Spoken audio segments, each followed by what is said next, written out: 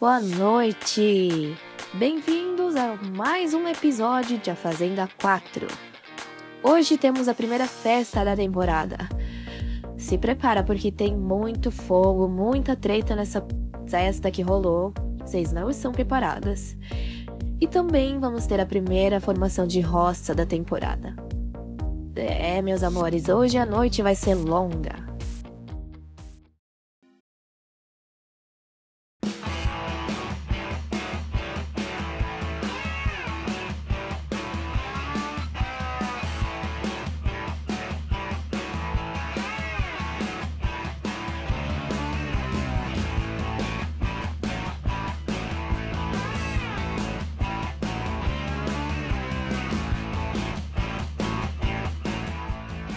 Amiga, essa festa foi pra mim sim. Cara, meu tema.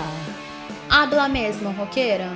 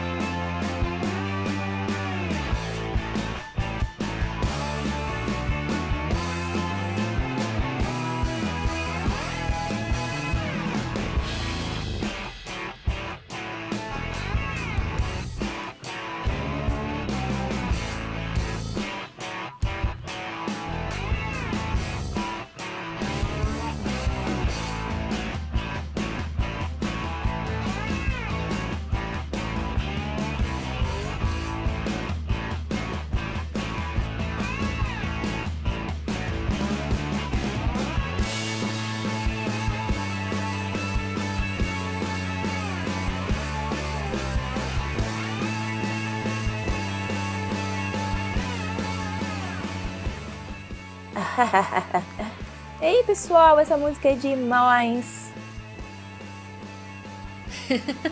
Acho que a Vivian já pegou pesado nas bebidas. Vi, você tá bem? Claro, tô ótima. Eu só tô me divertindo muito, pessoal.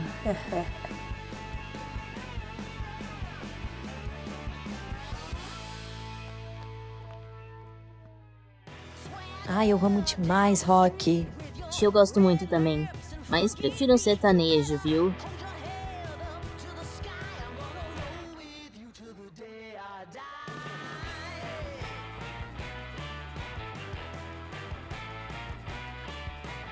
Às vezes a gente só precisa de um momento de tranquilidade, né? É verdade. É bom estar aqui, conhecer todos vocês. E eu tava um pouco nervosa no começo, mas eu tô me sentindo bem mais à vontade agora. Nossa, eu acho que eu já estou bêbada.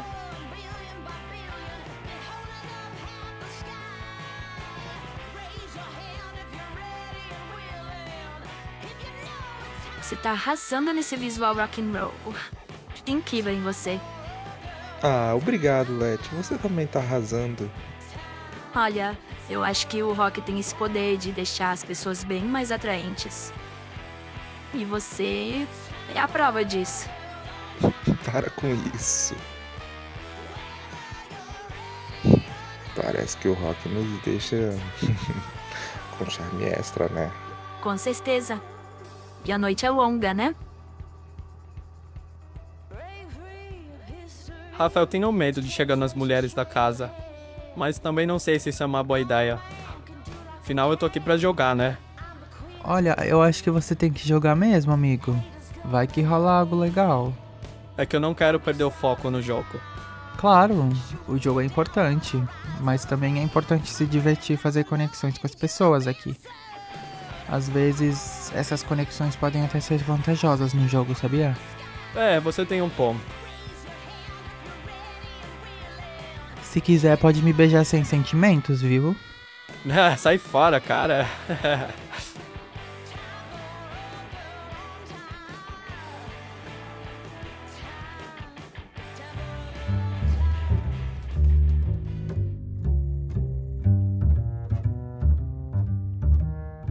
Amiga, o que você vai fazer, louca?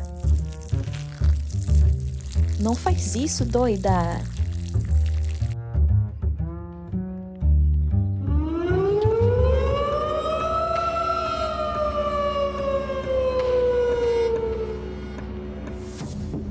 O que aconteceu?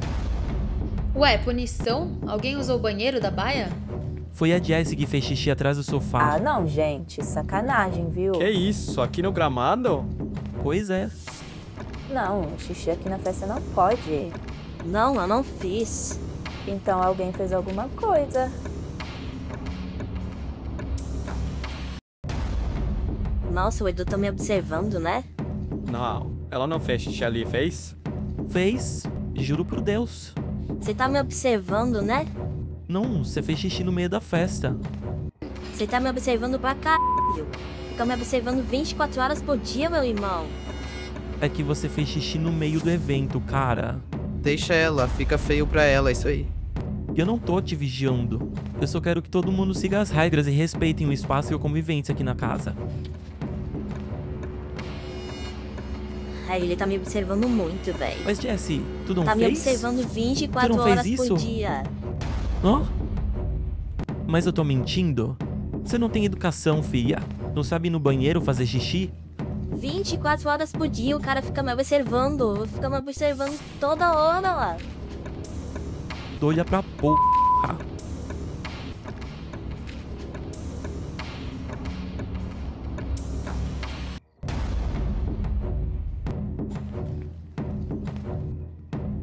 Isso é o jeito que se trata as coisas?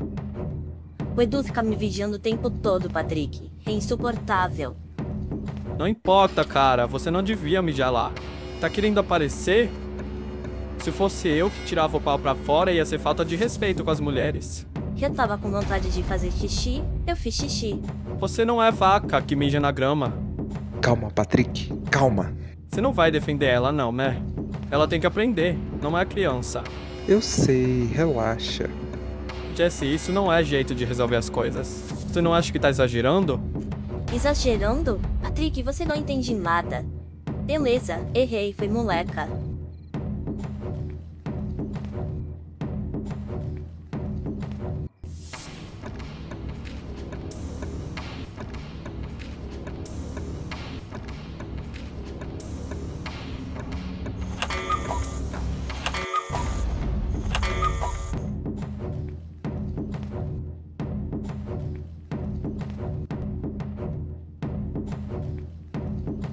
De acordo com as normas, é proibido fazer necessidades fisiológicas fora dos reservados.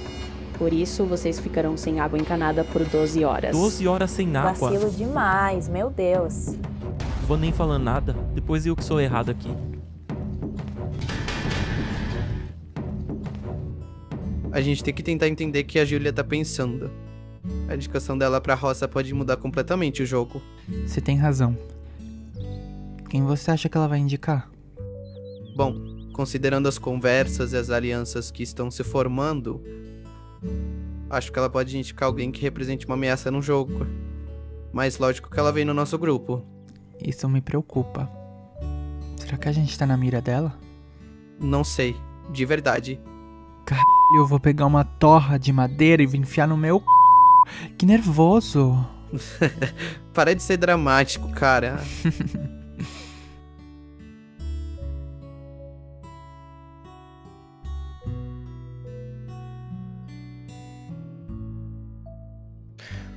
Marquinhos, preciso de um favor. Manda. Bom, a competição tá só no começo, né? Se as coisas estiverem de boa, eu queria descartar um voto em você, só pra não comprometer com, a- com ninguém. Você faria isso mesmo? Sim, porque não faço ideia do que fazer. Olha, eu acho chato fazer isso. Sei lá o que o público vai pensar, né? Mas eu não vou ficar chateada se fizer. Ótimo, valeu. Gente, precisamos saber quem a Júlia tá pensando em indicar pra roça. Pode ser crucial pra nossa estratégia. Concordo, mas eu não faço ideia. Lele, você tem alguma ideia de quem a Júlia vai indicar pra roça? já que você é do grupo dela? Ah, não sei não, Dani. É segredo. Vai, Lê, conta pra gente. Se você contar pra gente, eu faço aquele bolo de chocolate que você gosta tanto. Beleza. Eu acho que ela vai colocar a Galisteu. Mas não digam que eu contei. ok, ok, Lele. Você venceu dessa vez.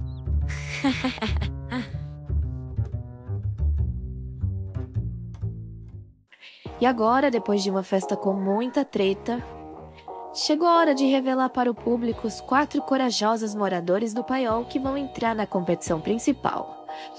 Vocês estão prontos? Os quatro corajosos peões do paiol que se juntarão aos demais participantes na sede são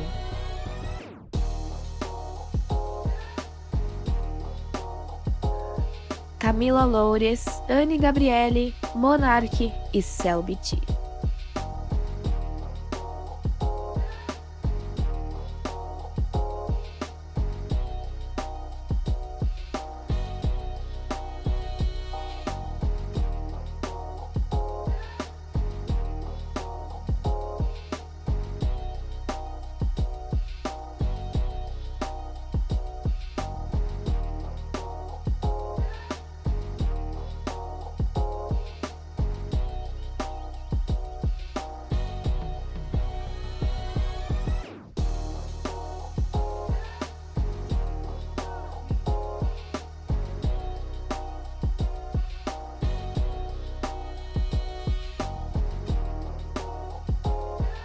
Que é isso? Participação especial? Oba, vai ter dinâmica patrocinada? Não, a gente tá aqui pra jogar. Como assim jogar? Direto do paiol, galera. Bora, se acostuma. Caraca, nem f... Nossa, nunca esperei por isso. Esse povo é da produção do programa? Show, mulher, são tudo participante.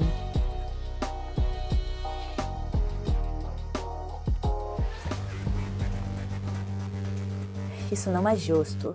Eles são famosos, eles chegaram aqui depois. O que aconteceu com a nossa convivência aqui? Eu entendo. É bem estranho, né? Sim, não é justo com todos nós que estamos aqui. Desde o começo. Nos esforçando nas provas, na convivência. Eles tiveram uma vantagem. É, eu entendo sua frustração. Vamos ver como as coisas vão se desenrolar com eles aqui.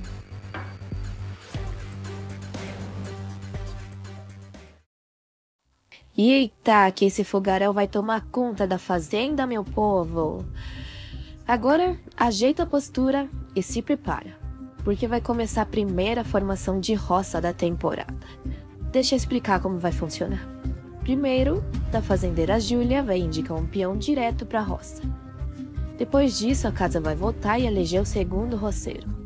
Esse roceiro vai puxar alguém da baia. Então a gente começa um resta um. Entendido? Direção Mijagarodek. Boa noite, galerinha. Hoje um dia tenso para vocês, né? Sortudos são os nossos novos peões que vieram do paiol. Eles não irão participar da roça de hoje, mas eles estão assistindo tudo lá dentro da sede. Bom, então a gente vai direto para o que interessa. Patrick, você que venceu a prova de fogo, pega os dois poderes e lê sua prova si.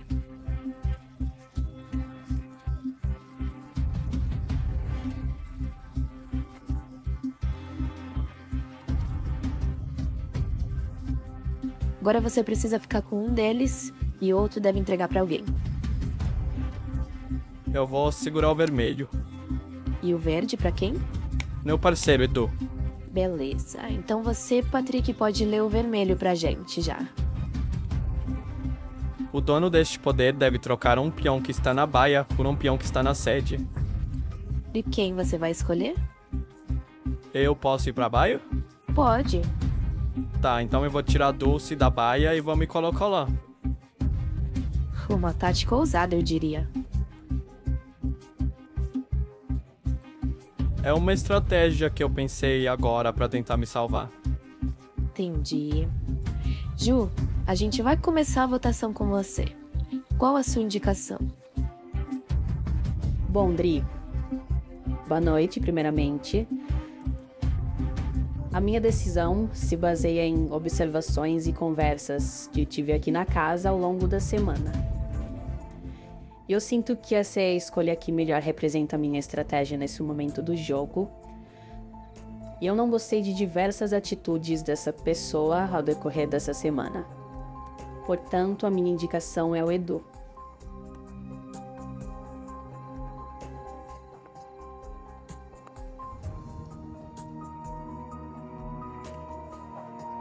E aí, Edu, esperava? Não esperava. Não esperava mesmo. Ela tomou as dores da amiga dela. Quer dizer, nem sei se são amigas mesmo, né? Mas ela tomou as dores de outra pessoa porque é uma planta que nem apareceu direito aqui dentro para ter algum motivo. Ah, quem tá querendo aparecer agora é você, pelo visto. Aham, uhum, vai lá, caça-VT. Então Edu é o primeiro roceiro da noite. Vamos partir para a votação da casa. Letícia, começamos com você. Bom, meu voto vai pro Rafael. Eu acho que ele pode ser uma ameaça no jogo. E eu sinto que ele pode ser forte. E quero ver como ele se sai na roça. Dulce, sua vez. Boa noite, Dri.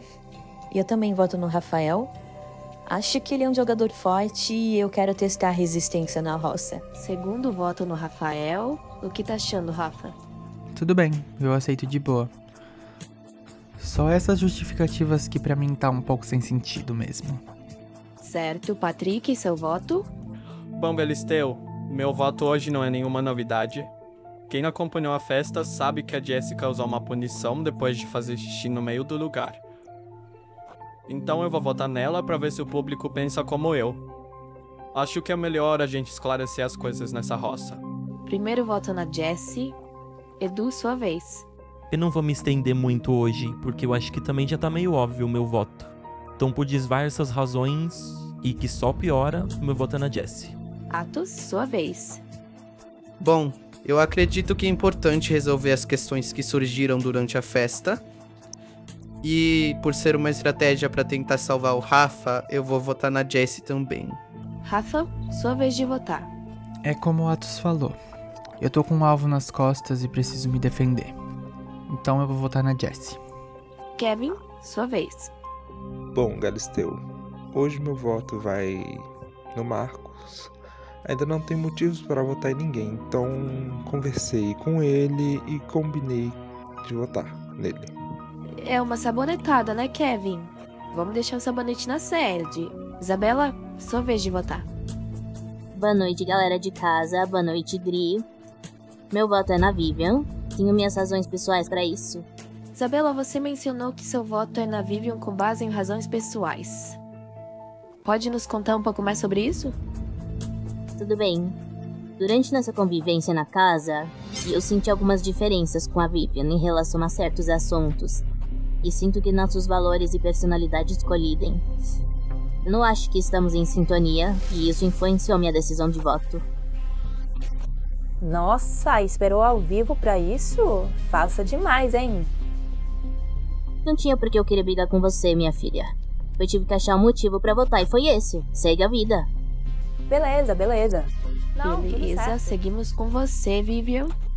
Então, eu vou devolver o voto na bonitona ali. Simplesmente por isso, o Brito não esperava. Marcos, seu voto? Apesar dos nossos momentos agradáveis juntos, eu vejo que estamos em posições opostas no jogo neste momento. Então, o meu voto é na Vivian. Jesse, sua vez de votar. Então, Dri, meu voto seria no Edu hoje. Esses dias atrás ele chegou em mim e fez um comentário totalmente desnecessário. Qual comentário? Fala pra gente. Falando que achava que eu era oportunista, falou como se minhas amizades fossem estratégicas, sabe? De caso pensado. Daí eu fiquei muito incomodada com isso, porque eu não faço esse tipo de coisa. Pode bater palma, isso aqui tá virando um circo, só pode. E você é a palhaça, né? Porque tá dando um show. Para de se meter, cara. Enfim, Eu vou votar no Rafael pra tentar me defender mesmo.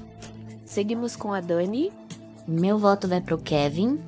Embora seja um voto difícil de dar, acredito que nesse momento do jogo ele tá muito apagado, não aparece direito. Sam, sua vez. Meu voto também vai pro Kevin. Considerando as dinâmicas e alianças em evolução dentro da casa, eu acredito que essa é a decisão mais alinhada com os meus interesses. Então, com quatro votos, Jesse, você tá na roça. Pode sentar do lado do Edu. E agora é com você mesma. Jesse, você decide. Quem você puxa da baia? Eu vou puxar o rei das estratégias, Dri. Que me deu de presente a chance de puxar ele. Patrick. Ai, forçada. E para finalizar a formação de hoje, o famoso resta um. Patrick, você começa salvando um peão, que salva outro, e assim até sobrar apenas um. O último que restar tá na roça. Por favor, todo mundo de pé. Se for salvo, fala quem salva e pode sentar. Eu vou salvar o Atos. Eu salvo o Rafa. Eu vou salvar a Dani. Eu salvo a Sam.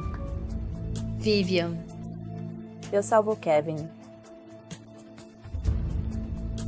Hum, vou salvar a Lê. Eu vou salvar a Isa. Dulce. Portanto, Marcos, você tá na roça.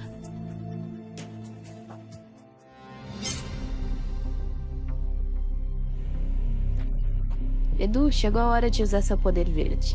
Leia em voz alta pra gente. O dono desse poder tem duas opções.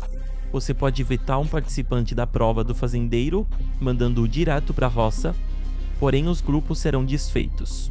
Ou opção número 2, você pode trocar um roceiro por outro peão da sua própria equipe, porém este ficará sem participar da prova do fazendeiro. Eita galera, qual é a sua decisão, Edu? Delistel, é uma escolha difícil, mas eu sei que todo mundo vai entender.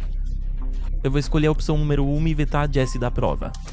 Então, com isso, os grupos serão desfeitos. É isso mesmo? Sim, os grupos não importam na verdade.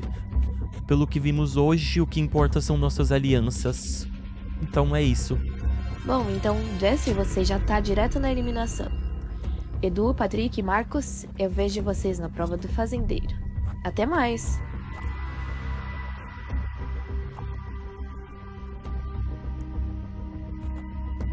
E assim termina mais um episódio da Fazenda 4.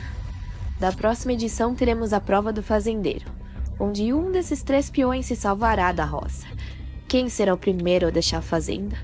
Não percam! Até lá!